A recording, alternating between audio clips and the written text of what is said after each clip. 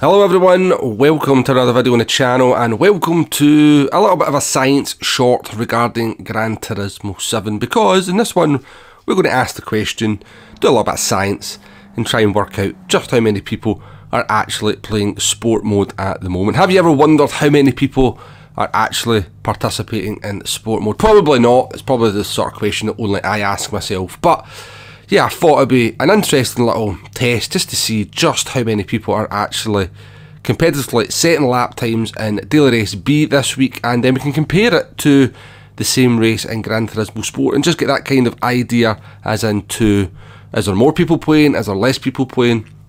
Let's find out. Now, the best way to do this, I figured, was rather than trying just clicking through the leaderboards to get all the way to the end of the leaderboards because there's going to be obviously tens of thousands of people.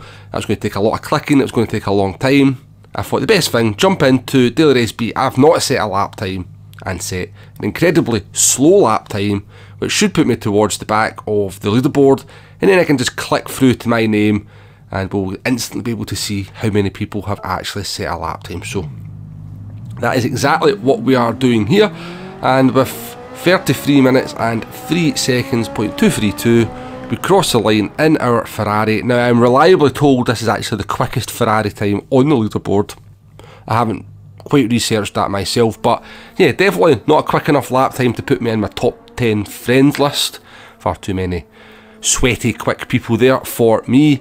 But let's go into the global rankings now, and you can see that figure at the top there 51,985. Now, Will that put me last on the leaderboard? We can click through to our position just by pressing triangle and as you can see we are plumb last. Of all the people that have set a lap time we are plumb last. 51,986. Now that's not an insignificant number of people that have set a lap time but if I was Polyphony Digital, I would be slightly worried by that number. I went on to Kudos Prime I checked the last time we had Group 3 at Spa on GT Sport and 70,000 people had set a lap time. So that's around about a 25% decrease over GT Sport. Now I'm doing this video on Saturday morning, so it's well into the end, uh, or towards the end of the week for this daily race, so there's not going to be too many more lap times set to take that number up. Let's just say it's not going to go above 55,000, is it? So yeah, that's a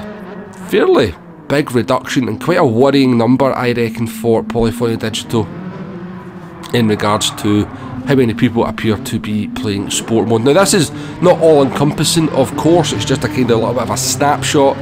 Uh, not everybody who's playing sport mode is going to be setting a lap time uh, on Daily Race B, but it does give a very interesting comparison, and in my opinion, a slightly worrying comparison. There's definitely a sense when you're playing the daily races that they're not quite as busy as they used to be on GT Sport. So yeah, hopefully you've enjoyed that video. Hopefully it's given you a little bit of a snapshot into how many people are playing sport mode. If it has, if you've enjoyed the video, please hit that like button, please hit that subscribe button, and I'll catch you on the next one. Thanks now.